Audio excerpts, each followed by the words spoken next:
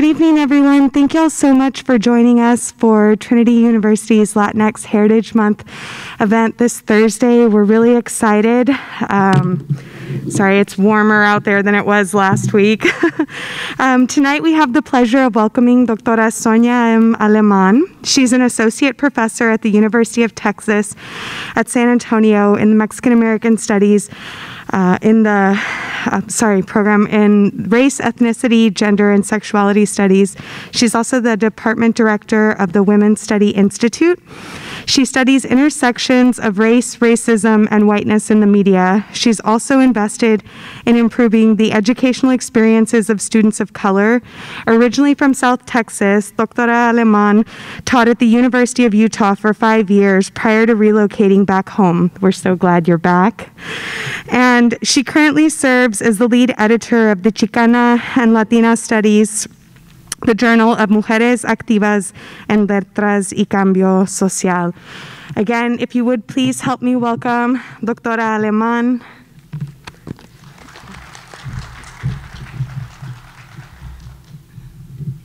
Thank you so much for that, Courtney, and um, thank you to the Student Diversity and Inclusion Office for the um, invitation to address the Trinity community this evening as part of your kicking off your um, Latinx Heritage Month. As someone who spent her undergraduate years here in San Antonio, um, relishing in the Tejano music scene that Selena Quintanilla catapulted to its peak, I am truly awed and humbled to be back in the city, teaching about Selena, talking about Selena, learning from Selena.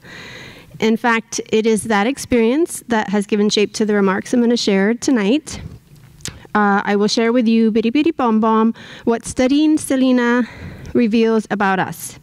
And for tonight, the us which I am referring to includes Tejanos, Mexican Americans, and Chicanas, Chicanos, and Chicanekis from South Texas, communities that I identify with that make up 64% of San Antonio's population, 21% of Trinity's student population, a number the institution I believe intends to grow, and 84% um, of the population of South Texas, an area Selena Quintanilla called home. And given the context of tonight's event, I thought this was a, a fitting focal point. So, to best uh, utilize our time together, I've organized my talk into three sections. Um, to help you get to know a little bit more about me, I will share the lived experiences and memories that I have of Selena that inform the ways that I teach about her. And because I have the immense pleasure of teaching the first class in Texas anchored on the life and legacy of Selena Quintanilla, which is Courtney um, uh, mentioned, I believe, led to my invitation this evening, I thought I would briefly provide background about how the course evolved and came to be offered at UTSA. But the bulk of my talk will be to address the question posed in the title What can we learn about the Tejanos, Mexican Americans, Chicanos, um, and by studying Selena? In essence, I am distilling a portion of my 16 week syllabus into um, examples of the themes and points of analysis I engage in with my students. Specifically, I will share excerpts from the reading material in the class that discuss Selena's body and point to the way it allows students to think about how Latina bodies are read and understood. I will then share quotes that reference the borderlands, the area that Selena toured for the majority of her career, and explain how students and I deconstruct the discourses about the border that are revealed in this writing. And finally, uh, the last set of passages will look at the way Selena is described as being bicultural and bilingual. And I'll um, close out by talking about how my students, uh, many who were not alive when Selena was performing and singing, unpack these quotes in my class. And then I hope um, that I can keep that to about 35 minutes so that I leave plenty of opportunities for questions from you all.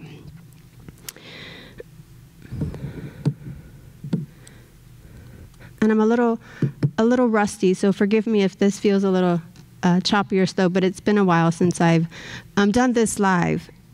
Um, but I'll start here. So I have several Selena stories. They are the reasons why I dreamed of, designed, and now teach the course. As a Chicana born and raised in South Texas, Selena's music, music featured prominently in the mixtape of my teenage and college years. I have memories of seeing her perform a handful of times between 1991 and 1995, along with many of the great Tejano artists at the time. But the Selena story I wanted to tell now is about the last time I saw Selena perform. It was in January of 1995 at a club called Tejano Rodeo, which was one of San Antonio's many Tejano nightclubs that were spread throughout the city in the 90s. So, alongside my boyfriend at the time, now husband, Dr. Enrique Aleman Jr., who some of you might have the chance to take a class from here at Trinity. Well, two and a half decades ago, he and I stood uh, in front of the stage for an up close and personal view of Selena's performance when we ourselves were not on the dance floor dancing to her music. And when I say up close and personal, I mean it. The stage was. Um, just a, a, few feet off the ground than this stage is. But we were standing like right here in front of her performing, if you can imagine that on the stage. And in those days, the main act would play a set, take a brief intermission, and then come back for a second act. And so on this night, after intermission, Selena came out in a new outfit than what she opened the night with. It was a white halter jumpsuit, cut very similar to her iconic purple jumpsuit. It was just all in white and sparkling. Um, I, I remember it either had glitter or some sort of like beading on it, but that stood out to me. And she opened her second act singing First, I was afraid, I was petrified as she strode across the stage. And I remember being caught off guard that night, thinking, um, why, why is she singing this disco music? And why did she change? And, and why did she sing in English? And I looked around at um, everybody, all the patrons that were there with me, and they were in their typical Tejano dancing attire cowboy hats, cowboy boots, starched Western shirts, um, big belt buckles, Wranglers and I thought, are they gonna like this music? Um, we're all here to dance to Tejano music. Well, within seconds, they were all singing, swaying, dancing along with her. It was clear they loved her singing this. But I was so struck by the shift in what Selena performed that I remember talking about the assortment of disco songs that she sang after the show with um, Enrique and my future brother-in-law deliberating if Selena was, was going to start re releasing music in English and wondering how we would feel, feel if she did that. So that night, without realizing it, I was asking questions about what it meant to live in two different cultural spaces, and Selena was the reason why. Two months later, she was shot and killed by Yolanda Saldivar, a day in tragedy we, Tejanos, Mexican Americans, Chicanas Os X, and other Latinas Os X still grieve from.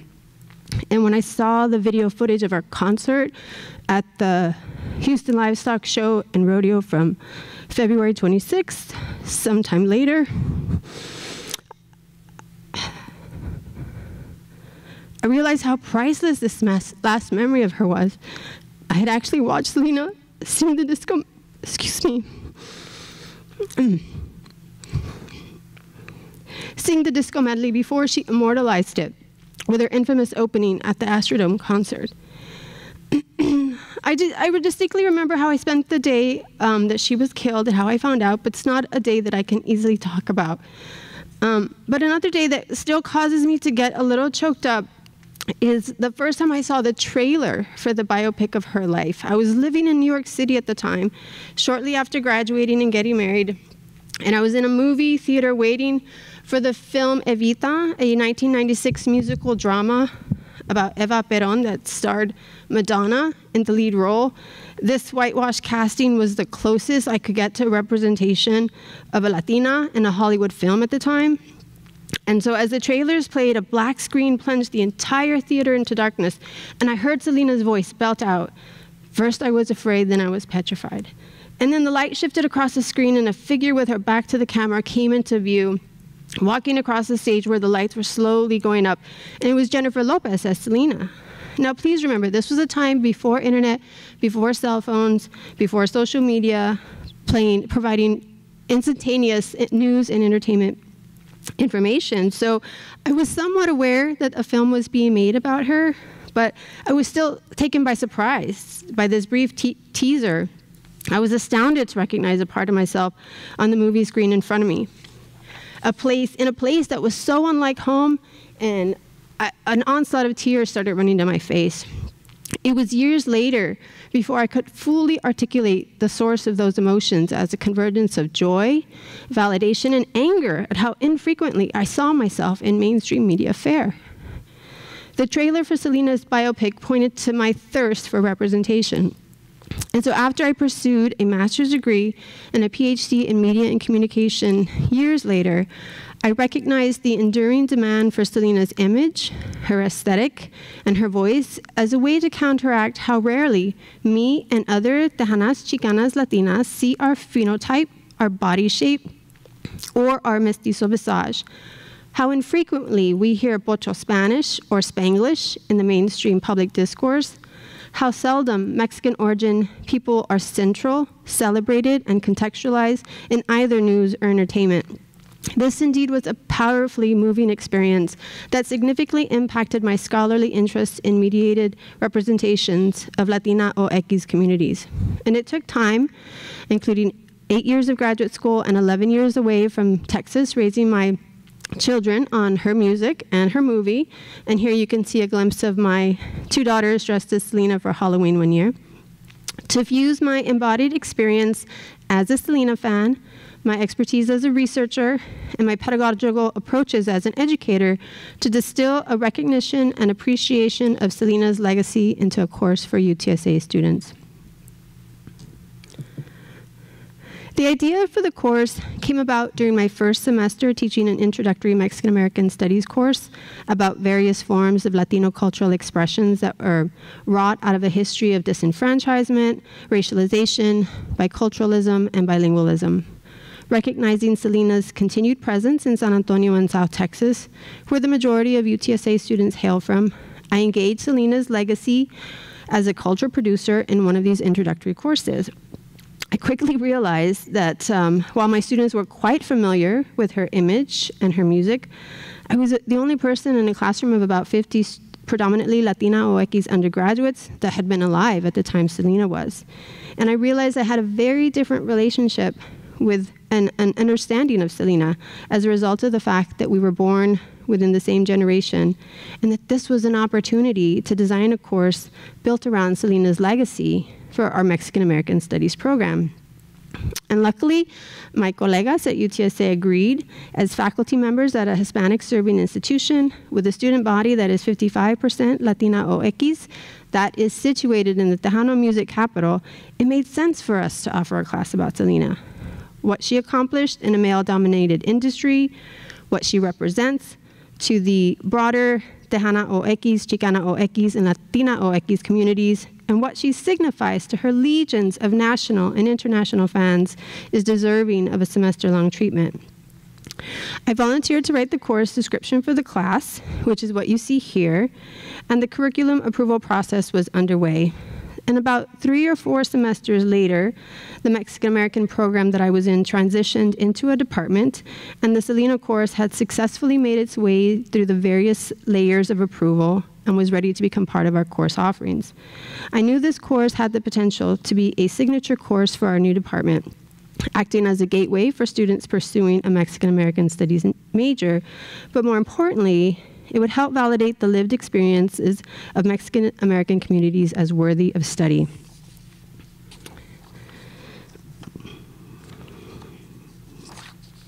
And that is what the next portion of my talk will map out. One of the first decisions that I had to make when designing the course was determining the material students will read, watch, or listen to. If you've ever typed Selena into Google, you will know that you will end up with an an infinite repository of material, hours and hours and hours of reading material, fan memories, messages to her, biographies, as well as footage from interviews, performances, commercials, award shows, etc. So I had the task of narrowing that down for a 16 week semester. And what I decided to do was to focus on the scholarship, that is, published academic work either peer reviewed journal articles about her or books by academics about Selena, rather than mainstream news accounts of her career or her tragic death, and no unauthorized biographies about her. So, about 95% of the course material is drawn from this type of work. This focus allowed me to create a curriculum that demonstrates an intellectual approach to understanding Selena and her fandom, and as most, most of these pieces seek to answer some form of the question, why does Selena continue to be so meaningful? How is she meaningful to her fans? An important note about the only book that we use in the class. The book is titled Selenidad, Selena, Latinos and the Performance of Memory, and it is written by one of the preeminent Selena scholars, Dr. Deborah Paredez, who's a San Antonio native and who is an alum of Trinity University. She graduated with her BA in English from here. She writes about how Selena is remembered, a range of practices that she terms Selenidad. If you tune into media, media, media tributes to Selena that occur around the anniversary of her death or other kinds of celebrations of her accomplishments, you might hear your fellow Trinity Tiger, Dr. Paredez, discussing how she understands Selena's impact and significance. With these parameters framing the set of reading material that I chose for the course, I began to notice a few patterns about this body of work. For one, a significant amount of the scholarly work about Selena was written and published within the first decade after her death. This meant that the fans implicated in these articles were primarily those who were alive during the breadth of Selena's career. Again, I, I saw this, uh, I continued to see this as an opportunity to contribute to the knowledge produced about Selena regarding this set of fans who have grown to know and love her since her death it actually inspired the primary course assignments for the course. So my students interview what we call second generation Selena fans, asking them to articulate what Selena means to them. And then I have them work in a group to put together a final presentation ref reflecting on their analysis of the commonalities and differences that they find um, in the sense making their interviewees offered. In essence, they become Selena scholars themselves. Other patterns in how Selena is described, explained, or theorized in the course readings are highlighted in this last part of my talk today. The themes prevalent in this body of work about why Selena continues to generate such a vibrant and dynamic fan base are listed on the slide.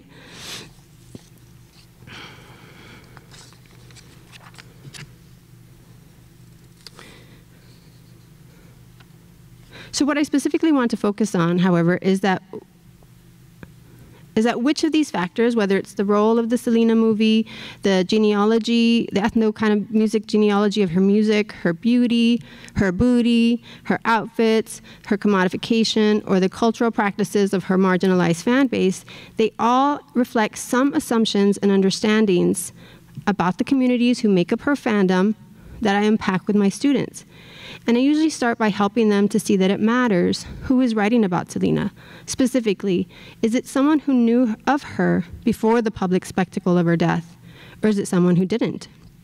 It matters if they are writing to explain Selena to white, dominant, or mainstream communities who didn't know her, or engaging with Mexican American, Tejano, Chicana o X, or Latina o X communities I think this will become evident when you see the examples of these works that I'll share on the next couple of slides. So after all this buildup, I think I'm supposed to switch slides now. Um, I'm going to offer one last bit of framing before I move into this last set of slides. I've selected six quotes that I think are representative of three of the topics or themes that sc scholars have pointed to that explain Selena's impact.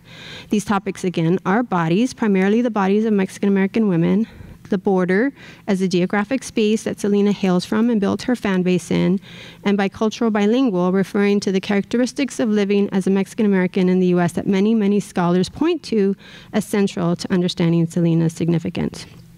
I've identified two quotes per topic. Each quote is on its own slide. I will show them one at a time, walking through the ways that I work with my students to ask questions about them, to interrogate them, and how we might compare them. So here we go. So here is a quote from one of the pieces we read early on in the semester. The author wrote, with her simple clothes and cinnamon skin, Selena looked exactly like the people she showed us just how beautiful we could be, and she did it without dyeing her hair Fanta orange or wearing those oppressive blue contacts that make so many of us look like fallen angels. She was this gorgeous Chola Morena who never forgot her pueblo, and we feel under her protection. So I've highlighted a few pieces of that quote. The author describes what she's wearing, and she only uses the word simple. And so it's unique in this particular piece because a lot of people, both scholars and the general public, often note the unique attributes of Selena's clothing, right? they were trend setting for the Tejano genre, music genre at the time. Many were original, many were hand sewn pieces that Selena herself designed or crafted. They were revealing for the time period, and for the current generation, they are considered iconic. So I asked my students, what do you think she means by referring to them as simple here? She describes her skin tone, which she refers to as cinnamon, a rich, earthy, coppery hue, choosing a term that denotes warmth and sweetness and something homemade. And I would ask my students to consider what are the ways they have heard darker toned skin described? What words are often used? What is it like to have this term describe her? For me, in this context, it feels very loving and accepting, normalizing this phenotype. I would also have them note that she calls Selena beautiful and gorgeous without changing anything about herself. Eye color and hair color stay the same. So it's not unusual for Selena to be called beautiful, it's very common. But the fact that she normalizes her aesthetic as equally worthy of being called beautiful as dominant Eurocentric beauty norms is certainly a deliberate move on the part of the author. Um, lastly, I think it's fun to help students think through why she calls her a chola, because I think Selena's father, especially, would cringe to hear her described that way. Um, and I would ask students to think, how do you understand what she means? You know, what kind of negative connotations do we have attached to that word that the author might be challenging, reclaiming, or asserting? Does Selena fit your expectations of a chola? If not, why do we have negative expectations of a chola? What would it mean to re envision all cholas as Selena? And so, um, we this is these are mere kind of jumping off points for um, our conversations in class. We aren't doing a, line by line analysis, but this gives you kind of an example of what some of the pieces, you know, allow, um, point to the kind of conversations we might have. So try to hold kind of all these questions in your head about this particular quote as I move to the next one. So, in this quote, the author is trying to provide a rationale for the emergence of the Selena fandom in the few months and years after her death. So, he writes Taken by themselves, her songs are fairly stock romantic tunes. Something else was at work. That something was the Mexican female body. I had danced with such women. Women perhaps not as attractive as Lena, but sometimes close enough. Women who dressed and made up their often equally voluptuous and morena bodies and faces in tight polyester fabrics of bold colors and with makeup that explored the limits of the word garish women who refashioned the best that Kmart and Target could offer, a refashioning at some considerable distance from Ann Taylor and LL Bean. So, how does this quote sit with you compared to the one on the previous slide?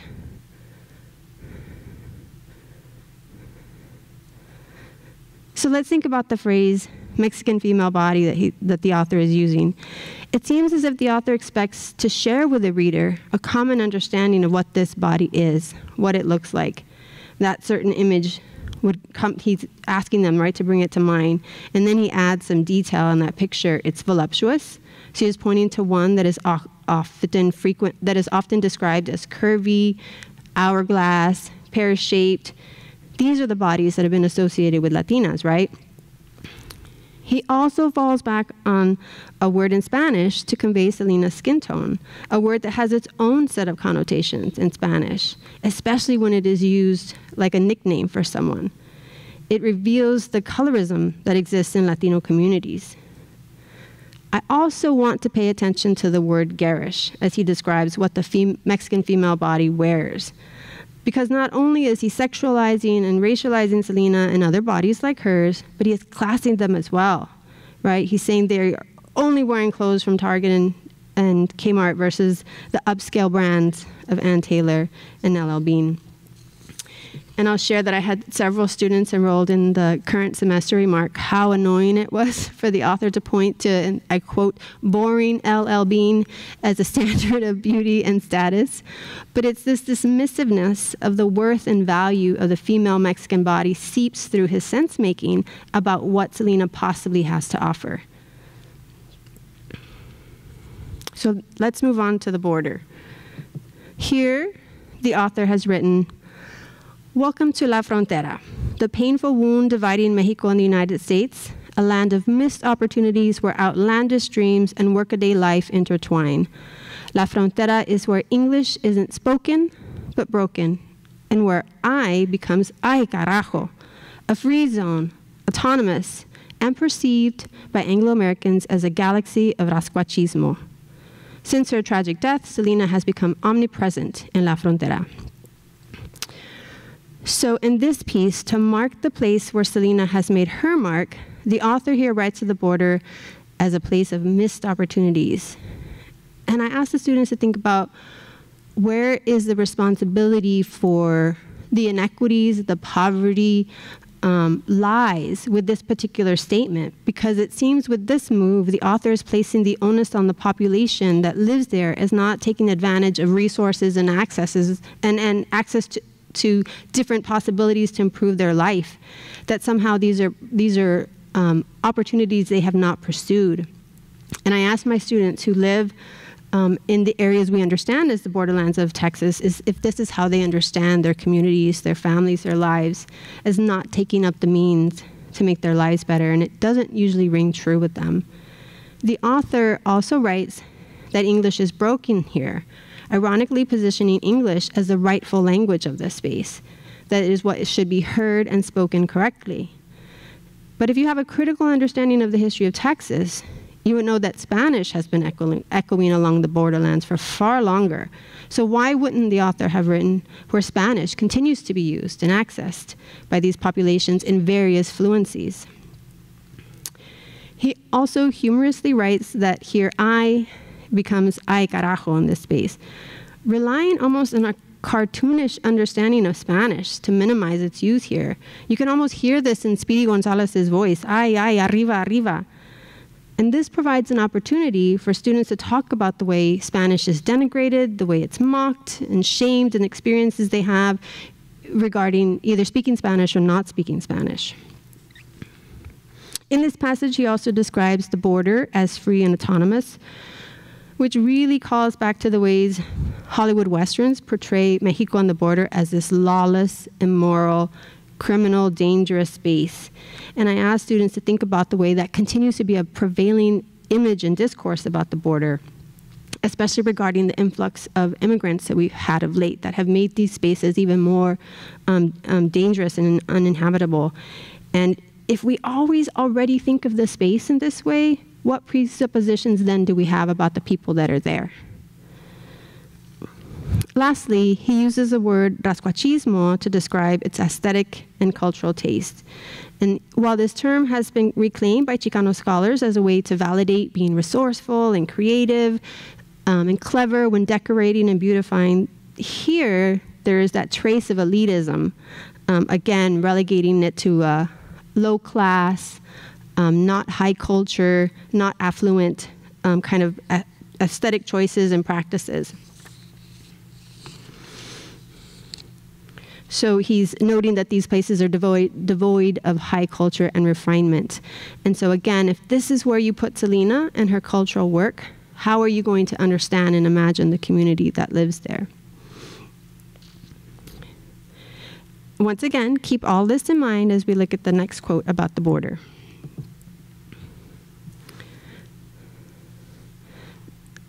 The cumbia norteño has been absorbed into the Mesoamerican matrix, the millenarian indigenous civilizational complex that exists beneath the veneer of colonization in what is today called Mexico and the US Mexico borderlands.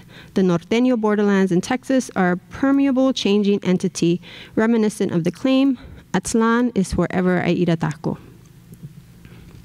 In this particular piece, it comes from uh, an article where the author is situating the musical style of Selena's most successful and popular hits as having both um, the cumbia, as having both musical, geographical, and even epigenetic roots. She says that the cumbia that Selena sings belonged to a borderlands culture that existed for millennia and that still resonates with the indigenous cultural traditions of this land's native inhabitants. It describes this heritage as a complex civilization, which is different from the way native peoples are typically described as primitive, simple, savage. She also very subtly notes the imposition of the current Western American way of life as superficial or a thin excuse for civilization in contrast to um, what has pre existed. And she pointedly remarks that the space has not always been carved into two halves, known as Mexico and the US. Mostly, she is pointing to this dynamic cultural production that circulates in this space, regardless of the lines drawn on a map. And she incorporates a quote. The quote, Aztlan is wherever Irataco is from a performance artist who is drawing on Chicano movement mythology, where um, using the concept Aztlan as a name for the land pre existing Spanish conquest. And that, that is a home space and, and ways of knowing exist within her um, wherever she chooses to engage in these practices. And so all of this together in this brief passage point to the border as being rich and complex and in motion and ephemeral. And so I ask students again to think about how this resonates with their lives, how they understand this space, um, which are the predominant images of this space that get conveyed generation after generation, what that means about how they understand um, where they might come from. And um, I, I mentioned earlier that um, I asked them to think about who these quotes were who these uh, pieces were written for, what audiences, or what um, connection to Selena the authors might have had in, in putting them together. Um, and so um, I hope you have your own um, guesses, right, about how you would answer that question in regard to the four quotes that I have already shared. Um, the next two quotes are about language and culture. And so these are a little bit more straightforward, um, and they're indicative of what the majority of scholars point to as a key factor in Selena's significance. Less of a comparison and contrast with each other, as the previous slides have been, but I think still really um, Im important for um, one of the key aspects of the course and what this body of scholarship um, puts forth. So the first one is like other Tejanas and Tejanos several generations removed from Mexico, Selena's struggle with Spanish symbolized the legacy of violent language oppression in Texas. Selena's negotiation with the Spanish language is, is an example of how language represents a contested terrain upon which Mexican Americans and Tejanos negotiate and reshape their relations to social, political, and cultural institutions.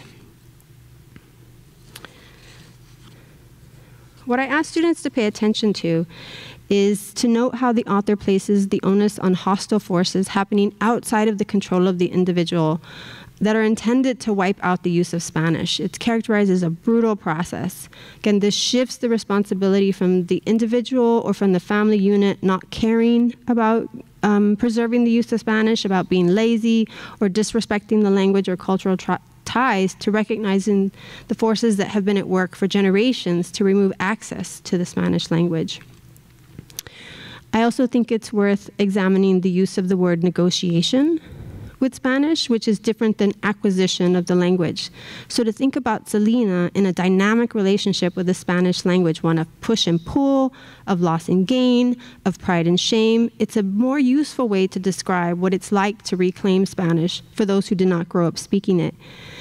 I think it also removes the expectation that the use of the language would be perfect. Selena messed up her Spanish all the time and messed up publicly and often laughed about it.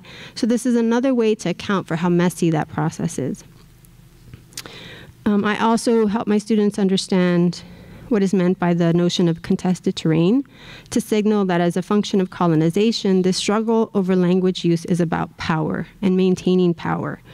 So it's a and it's a back and forth pool for this area that continues to have people that have such strong connections, on, regardless of the side of the border that they are on.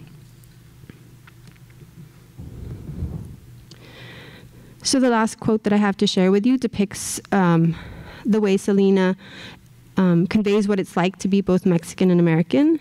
Selena fans continuously refer to her proud embrace of her culture and class origins. For Tejanos and Tejanos, she was proof that with dedication, a family's love, and lots of hard work, you can have your Mexican cake and still share in the American pie. And again, this is a pretty consistent thread throughout the course readings and scholarship on Selena. Her very public and proud embrace of her culture and class origins, how she remained humble and true to her roots, even when she found success and fame, how she conveyed what it was like to be both of these things Mexican cake, American pie at the same time, without choosing, sacrificing, or prioritizing one over the other. So for a community that had, has been invisible to the mainstream despite its steady growth in the decades that Selena began her career, and even more so since um, her career ended, this level of representation is frequently mentioned as a key factor in her continued significance because these experiences continue to be the same for these communities. And so um, this course material allow me to take a moment with my students um, to examine what other representations might be similar. You know, what else other than Selena do we have that depicts what this is like? Um, and it's rare when they can point to an example. So, as I indicated, that was the last quote I had to share with you. I've reached the end of my prepared remarks, um, but I do hope that I've illustrated what studying Selena can reveal um, about ourselves, about how people understand who those communities are, and just given a sneak peek of what the course is like, um, at least um, when I'm, I'm teaching it. Um, so I appreciate your time and attention and open the floor for your questions. Thank you.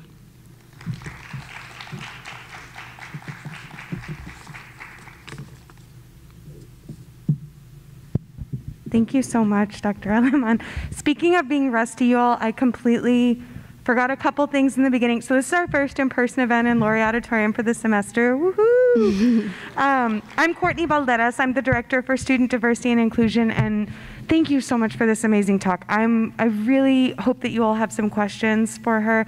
Uh, this course is something that I was so excited about when it was first announced, and I'm still hoping to get to take it because it really is transformative work. As somebody who was 11 years old when Selena died, um, I became much more familiar with her work after her death. Um, I grew up in a predominantly white neighborhood, and just all of who she was spoke to me at that very young age and helped me negotiate and navigate that really hard time um, in my life. And so, my question I'll, I'll offer the first question is kind of in some of the work and or you know from your lived experience what did that look like that transition from those who were dedicated fans to, and I know you spoke about students who are now like second generation Selena fans, which in the lead up to this presentation, I had talked with some students who haven't seen the movie or were like, I'm not as familiar with her, which is shocking to me. Mm.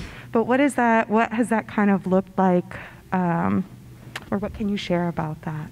Yeah, thank you for that question, um, Courtney. So I, I will reflect what information my students have gathered because they're the ones that have gone out and done these interviews. The first cohort of, of students who took the class was about um, about 25 students. They each conducted three interviews, two of them which had to be someone who we identified as second generation. One was first generation like myself. Um, and so based on their observations, based on what they analyzed, um, they found there was patterns of a lot of kind of mother and daughter passing along of knowledge about Selena or a love of Selena. Um, it mostly um, originated there, but it was also larger family. Like I learned it from my family.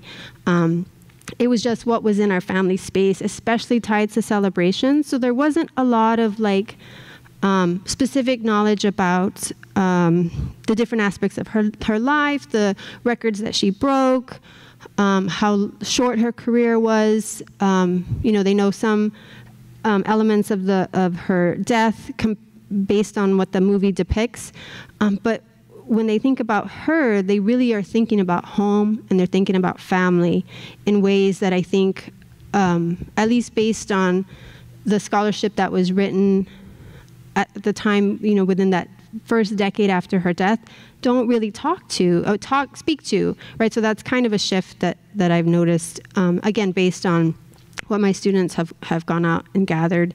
Um, and it's also just weird to, I just played um, in class last week a video clip of a video that Selena did. It's about a 15 minute like educational video that she did um, about the uh, about the, the different types of Tejano music, and she's like ex- explaining it to students. It's really cute.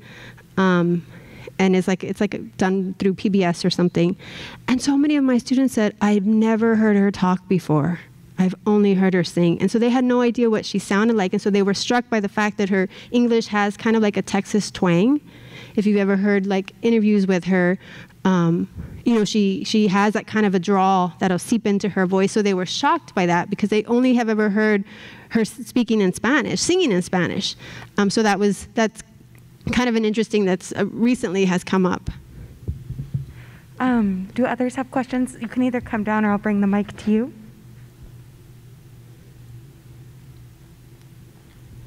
Hi, uh, let me see if I can piece this question together in my head. My name's Stephen Drake. Um, I'm a senior at Trinity. I'm the president of Pride on campus, our LGBTQI plus student organization. And I guess um, just from, I saw a couple of the articles that were posted in the screen grabs on the presentation. I was really curious to know more about the reception amongst queer Latinos, Latinos, Latines, Latinx um, of Selena's work. Um, and maybe to tie it back to the presentation, especially the reception of her body and what her physical representation meant for people, and perhaps especially um, Latinos, Latinas, Latines who found themselves on La Frontera, in very in between sort of place. Yeah, thank you so much for that question. Um, yeah, I did. I included that screenshot of that article, thinking maybe someone will be paying attention and will want to ask a question about that. Um, and that the work that I showed was by um, another scholar who's written a significant amount about Selena, um, Deborah Vargas, who's also uh, San Antonio uh, born and raised. Um, and what those in the scholarship, what mostly what they have focused on is um, drag performers who, who, who dress as Selena for their performance.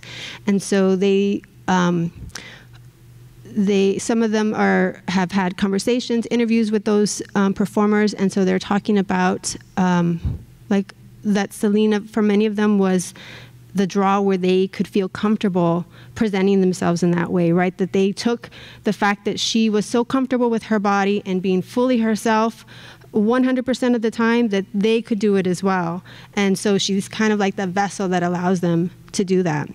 And, and it, there's, you know, just uh, some of the pieces cover um, the that not and that her appeal is beyond just the Latino community um, for the queer community that she has um, like she hits all the notes that are appealing um, for that kind of performance and that kind of um, uh, way of express, expressing themselves. And so, um, yeah, they're really um, fantastic pieces to read and to uh, incorporate into our um, conversation in the class. And they're and they are from performers both on the U.S. side and Mexico side of the border. Mm-hmm. Do others have questions or reactions? Coming so.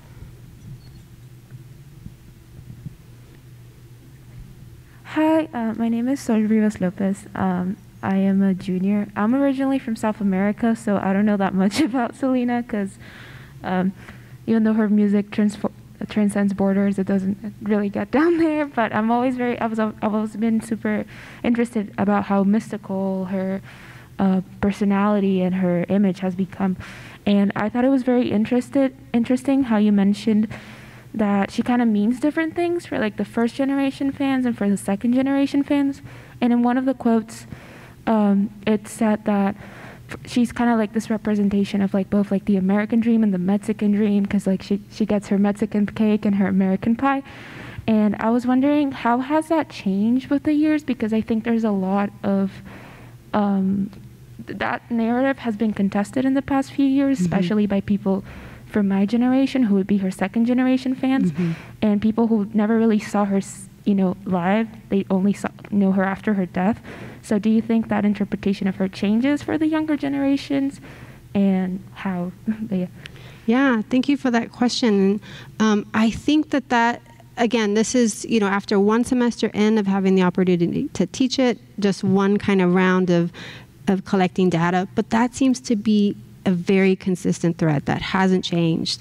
Um, the first group of students in the class, um, they themselves were the majority of them were self-proclaimed Selena fans. Even and I think only two out of the 25 um, were in in my generation. So they were all you know post 95 Selena fans, and um, but they all shared that same experience that they she made it okay for them to to butcher Spanish or feel okay about that that she that she made it okay for them to realize um, why they were you know at times conflicted for for not being quite Mexican enough for some parts of their family for being um, too Mexican for other parts of their family um, all sorts of those kinds of experiences came through not only with the students in the class, but the people that they interviewed. That um, that continues to be um, a really strong um, element about what her appeal is.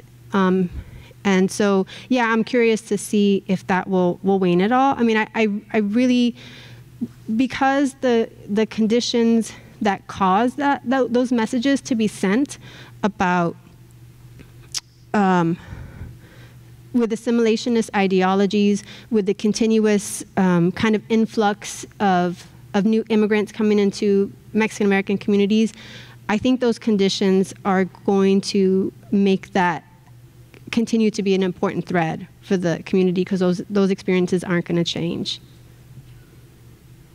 Thank you.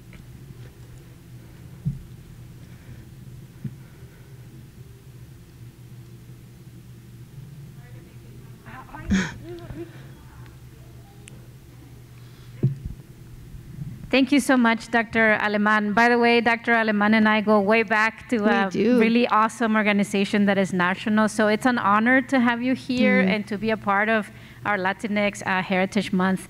I'm wondering if you can uh, shed some light on the Afro Latinidad that JLo represents in also playing the part of Selena in the film. I know that it was very controversial when she was first selected to play Selena because she's Afro Latina, Puerto Rican, Nuyorican, right? So, have you explored that in your class, and, and uh, what, what are some of the thoughts and, and some of the conversations that, that come around that topic?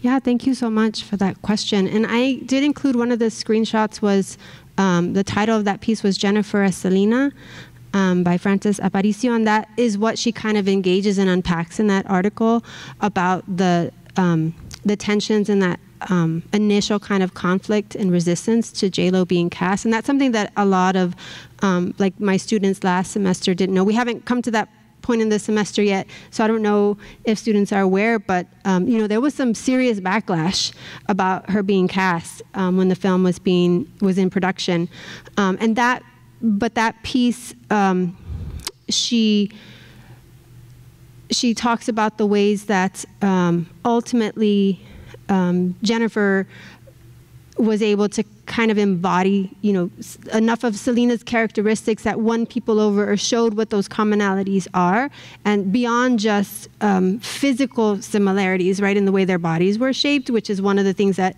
at least the the media and mainstream discourse kept pointing to.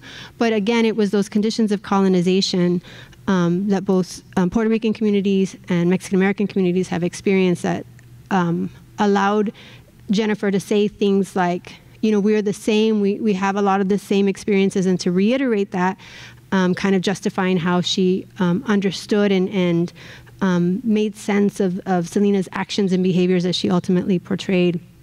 Um, but another piece that we engaged, it wasn't one of the examples that I showed that does um, tease out a little bit more of the roots of Af Afro Latinidad in Selena's performance is by um, Deborah Vargas, and she talks about um, the ways that black disco performers at the time that Selena would have engaged, so the ones that she borrowed from, that she covered in the disco medley, um, right, were specifically drawing from this um, African, African American way of, of uh, or musical styles of dancing or performing of dressing and so she she sheds a light on those roots to to um, broaden the the the influences of the of the Selena that we see, like distilled right all in her today. And so it's a really nice way to. Um, she does a really good job of unpacking all of that, of pointing to those histories, of bring, bringing that into the conversation, of understanding,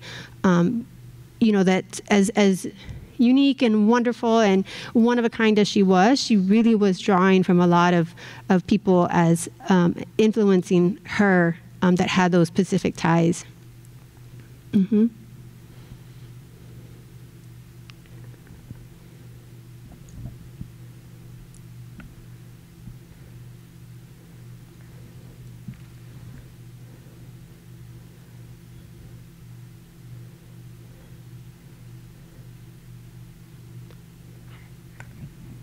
Um, hey, thank you. Um, my name is Ana Yancy. I'm a senior here. My question is, have you seen the new show on Netflix, and what's your opinion about it um, in comparison to the movie or like just in general? Thank you so much for that question. Um, we actually, um, yes, I have seen it. To answer it directly, um, it premiered like the last week of, of class last semester, so I didn't get to incorporate it into the course, but we are um, this semester. Um, we haven't gotten to that yet. Um, so I'm, I am curious to see how my students themselves um, understand it. Um, personally, for me, I can answer, I can answer your question speaking from, from that um, point. I, I absolutely loved the series. Um, for me, again, knowing that one of my scholar, like my, the main focus of my scholarly interest is mediated representations of Latino communities, of Chicano communities. I understood um, the series, even though it was called Selena the series, was really about the Quintanilla family and this fa- this Mexican American family and how they collectively worked towards this goal um, to achieve this level of success and it was literally about putting food on the table for this family, right? The, the first half of the season, this is what it's revealing for us. And I thought that it was such a beautiful way of understanding what so many of our families continue to do collectively to provide for each other, right? There's still the, the idea that um, younger family members are contributing, right, to the overall household well being. That still happens. That still happens in many households. Um, I, I appreciated that they were showing that it was a collective effort rather than an individualistic effort, which is, I think, something that doesn't come across as clearly in the movie. One of the differences between them, um, right? That it was just just um, Selena didn't do what she did by herself. It, it she happened because all of them happened. Um, but most importantly, I was just the the there were scenes from the series that were that looked like South Texas that smelled like South Texas, that felt like South Texas, the South Texas of my childhood, the South Texas of where I go home to visit my mother, um, the South Texas where a majority of my cousins live. Um, and so it just was such a rare portrayal of a world that is so near and dear to me that I don't get to see on TV hardly ever, ever, ever, ever. And so for me, because it provided that, it was just fantastic. Um, and one of the things that I noted the weeks that it premiered and was in the top, you know, two on Netflix for the first two weeks or whatever it was, you know, very um, successful um, premiere was at the very same week that Selena was in the number one spot or number two spot, whatever it was, um, that another movie, it was it's a movie called Peppermint um, that stars Jennifer Garner, um, was also in the top spot. And in that particular movie, I don't has anybody in here seen that movie or know which one I'm talking about? Um, it was released in theaters, um, and so she portrays like this um, white suburban American mom whose daughter gets killed by um, by gangbangers, by drug dealers who happen to be Latinos. And so she goes on revenge against them. Like she acquires um, assassin skills and comes back and wipes them out. And so the depictions of, of Mexican Americans from California takes place in California, and that film are the ones that we normally see, right? Of criminals, of, of cholos, of of speaking broken English. Um, they even have like all these scenes with the image of, of Santa Muerte, like behind them, around them. So all these like really, you know, the most disgraceful images of, of Latinos in that film. And so it was just, it struck me, right, that both of those things were on Netflix at the same time, appealing to audiences globally, and both of them were being watched. I, I don't know if, if, I could say equal numbers because Netflix doesn't release right what their audiences are, but the fact that they were reaching significant portions. Um, it, it really disturbed me and made me all the more happy that at least there was a counterbalance to that image at the time that the Netflix series was released. Okay, we have time for one more question. If not, I have one.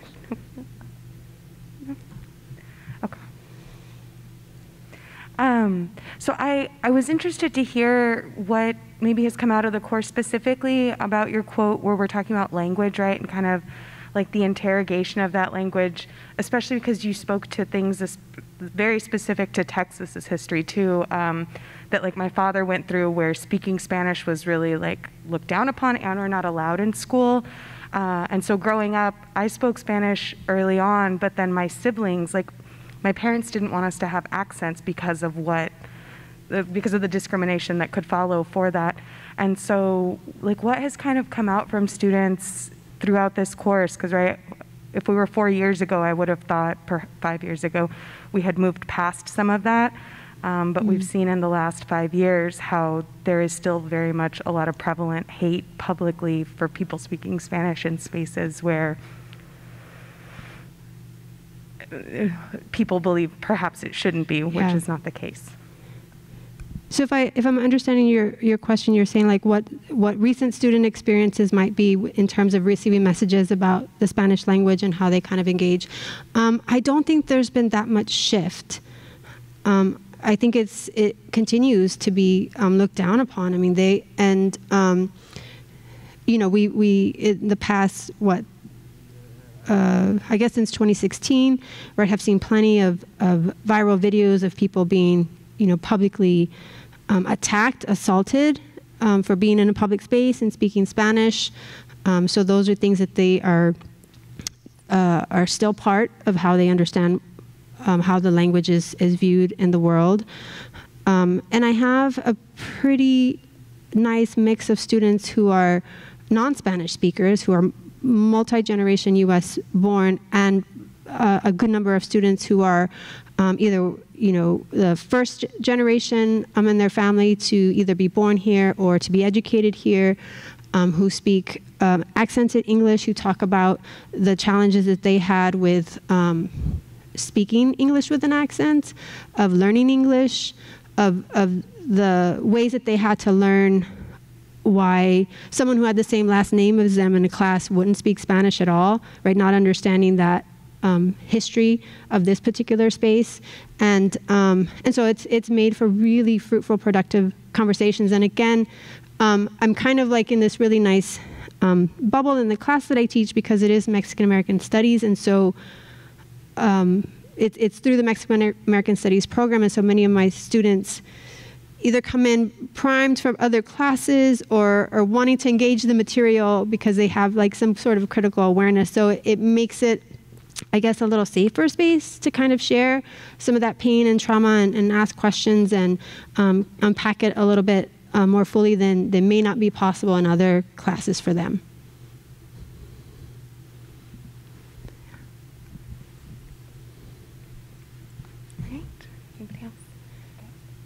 Thank you so much yes, again, Doctora. We really appreciate you being here with us. Thank you all.